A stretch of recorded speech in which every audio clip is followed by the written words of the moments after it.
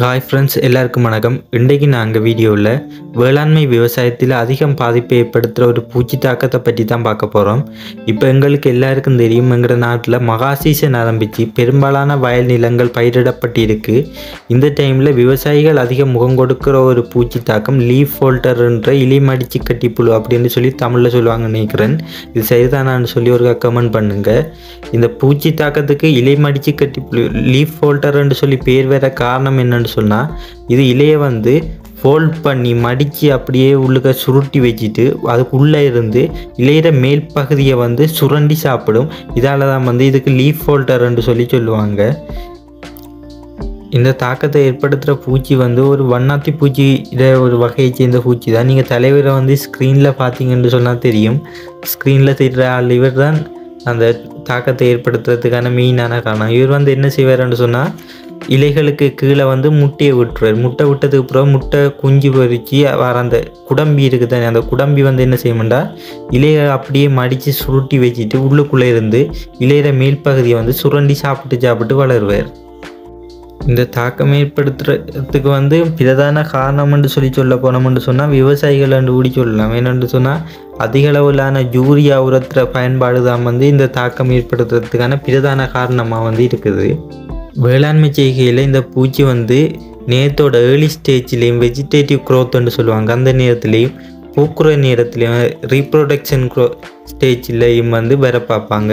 நேரத்தோட வாரத்தை பார்க்க இந்த பூக்குற நேரத்தில் வர்றதான் வந்து அதிக அளவில் தாக்கத்தை ஏற்படுத்த பார்க்கும். ஏன்னு சொன்னால் இவர் பூக்குற நேரத்தில் உள்ளுக்குள்ளே இருந்து இலையிற மேற்பரப்பு எல்லாத்தையும் சுரண்டி சாப்பிட்டாரண்டா பயிர்களால் வந்து சரியான முறைக்கு ஒளித்தொகுப்பு செய்ய முடியாமல் போயிடும். அப்போ ஒளித்தொகுப்பு செய்ய முடியாமல் போகிற நேரத்தில் வந்து என்ன செய்யணும்னு சொன்னால் எங்களோட விளைச்சல் வந்து முக்காவாசி வந்து பதறாகக்கூடிய ஒரு தன்மை வந்து ஏற்படும். அந்த அளவுக்கு வந்து இந்த பூக்குற நேரத்தில் வர தாக்கம் வீரியமானதாக காணப்படும்.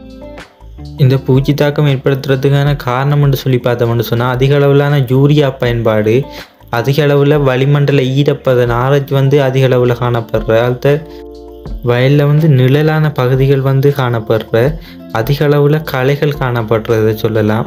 அடுத்ததாக வயல் வரம்பு வந்து துப்புரவு இல்லாமல் அதிக அளவில் பத்திகள் வளர்ந்து அப்படின்னு சொல்லி கிடக்கிறதையும் சொல்லலாம்.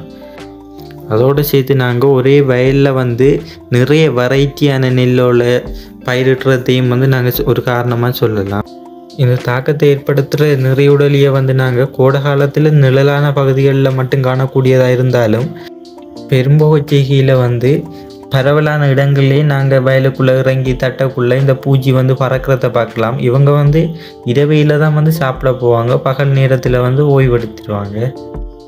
சரி ஃப்ரெண்ட்ஸ் இப்போ வந்து இந்த பூச்சி தாக்கம் ஏற்பட்டதை எப்படி நாங்கள் இனங்கண்டு கொள்ளலாம்னு சொல்லி பார்த்தோம்னு சொன்னால் சேதமடைஞ்ச இலைகள் வந்து நீளமான கண்ணாடி மாதிரியான பகுதி வெளிப்படையாக வந்த கோடுகள் வந்து காணப்படும். இலைகள் நீளமாக வந்து அந்த ஒரு மாதிரி நெட் மாதிரி காணப்படும். நெட் மாதிரி கோடுகள் வந்து காணப்படும்.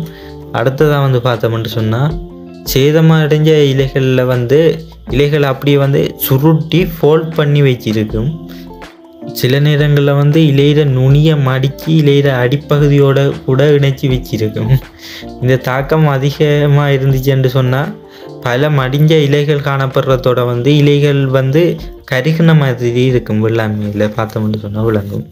பகல் நேரத்தில் வேளாண்மை இலைகள அடிப்பகுதியை நீங்கள் தட்டி பார்த்தீங்கன்னு சொன்னால் விளங்கும். இந்த பூச்சி வந்து வட்ட வடிவில் வந்து முட்டை விட்டுருக்கும் அந்த இலைகள அடிப்பக்கத்தில்.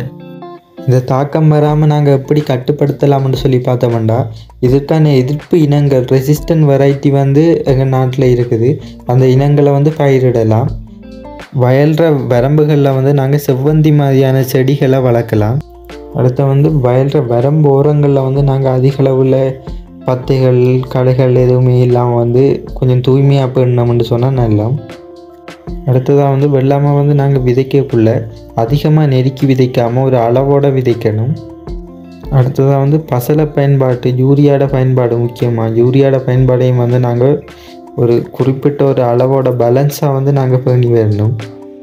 அடுத்ததாக வந்து நாங்கள் இதை கட்டுப்படுத்துறதுக்கு இஞ்சி பூண்டு பச்சை மிளகாய் கரைசல்னு சொல்லி ஒன்று இருக்குது ஓர்கானிக்கில் அந்த கரைசலையும் நாங்கள் தெளிக்கலாம்.